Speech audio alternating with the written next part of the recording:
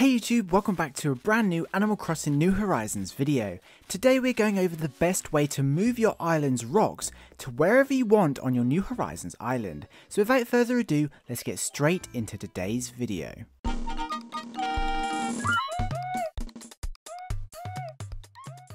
So you may have seen a few people have been able to reposition their island's rocks or even move all of them into the same area. The benefits of this is you can quickly do your rounds and gather your daily materials and bells super quick. There's also some advantages to designing your layout and being able to place your rocks exactly where you like if for example you're designing a zen garden and you want a rock to be a feature, but mostly it just looks cool. So today we're going over how to do this along with a couple of tips to help you save a whole bunch of time.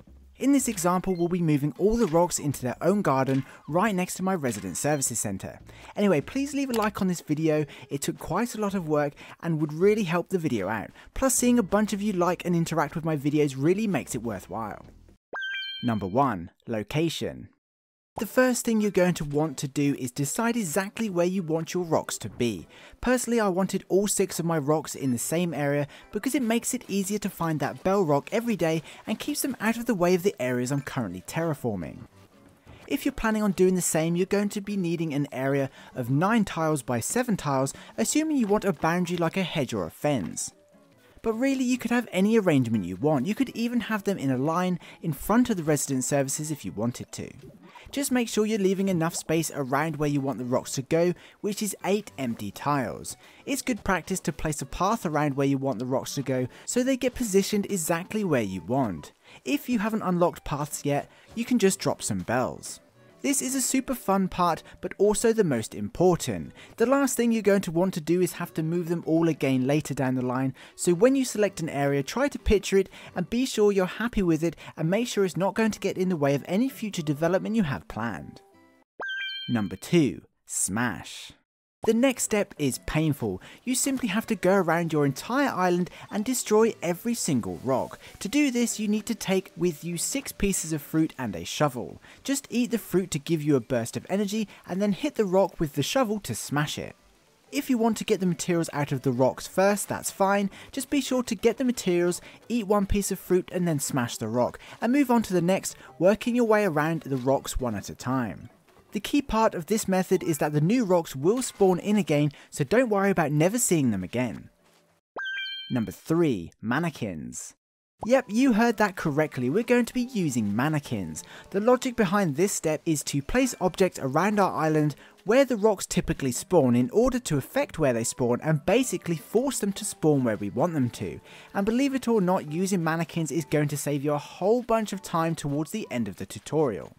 So what we need is a custom design that you're not using and isn't currently attached to anything. Personally I chose a blank white custom design. Then it's as simple as displaying the design as a mannequin by selecting display here and mannequin. Now for this to work we need to display a mannequin pretty much in every open space where a rock could spawn. It sounds like a huge task but it's not that bad and will be totally worth it.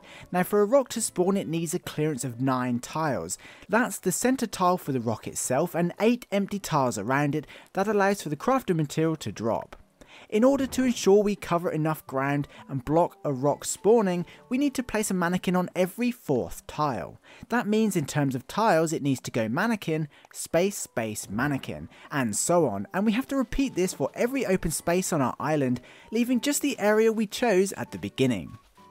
A couple of things to bear in mind is that if there's a tree where a mannequin would go, don't worry about it as the tree acts like an object that already affects where a rock would spawn. The same can be said for buildings, fences, all paths except dirt paths, furniture items, materials, and of course other rocks. Once you get started and get used to placing mannequins, it doesn't take too long to fill the island. Personally, I started in the bottom left of my island and worked across and upwards. If you happen to come across an area that you're not sure about, like the edge of a river or a patch of flowers, it's always best to place a mannequin there anyway, just in case. Rocks can spawn right next to flowers anyway, so I would treat flowers as if they don't exist. Now once you've filled your entire island, just do a quick run around and check you've not left any open areas or places where you think a rock could spawn. The best places to check are in front of buildings and maybe little coves or cliffs that you might have missed on the way around. Number 4. wait. Unfortunately, rocks only spawn once a day, so now it's a bit of a waiting game. Of course, you can either carry on playing as usual and try your best to ignore the mannequins, or save and quit and wait until the next day. Once the next day arrives, it's time to check if you did in fact cover all areas as you'll find out whether or not today's rock spawned in one of the areas you wanted it to. Personally, when recording this, I managed to miss a space and the rock spawned right next to some flowers. If you experience this, just smash the rock, drop a mannequin and you should be fine. I think one space out of several hundred isn't that bad going. Anyway, once you start your fresh day in New Horizons, you'll know it's worked and you've filled all available spaces with mannequins when your first rock spawns into your garden, or wherever you wanted it to go. It's an amazing feeling. Then you can just keep checking for the next 5 days as each rock spawns into place one at a time. It's always worth checking your progress by visiting the garden because if a weed grows there, you'll need to remove it. And by the 6th day, your final rock will spawn into place, which is so cool. Number 5. Cleanup. Now you feel like some sort of wizard and managed to get all your rocks where you want them, it's time to clean up the island, but don't worry, it will take you about 3 seconds. Simply head to the design you chose for your mannequins, mine was the white custom design, and then change it. I coloured mine red and saved it. It doesn't really matter what you do to it. And just like that, every single mannequin you dropped has vanished, and that's why we chose to use mannequins because it saves so much time picking them all up. In reality, you could have used anything you wanted, but then you'd have to spend an hour picking everything up, and no one wants to do that. And there we have it, in a slightly tedious fashion, we have moved every single rock on our New Horizons island to their own little area. The creative possibilities of this are endless, and that's why I think it's really cool we were able to do this. Plus, your friends will be completely baffled when they visit, only to see all your rocks in the nice neat pattern. This whole thing took probably 3 hours or so, not including checking whether or not rocks had spawned in, but personally I think it's totally worth it, and it's super handy having them all in one place. And don't worry, you get used to having mannequins around. Of course, if you're happy to time travel, you could probably get this done in one day by travelling ahead one day at a time, but that's up to you.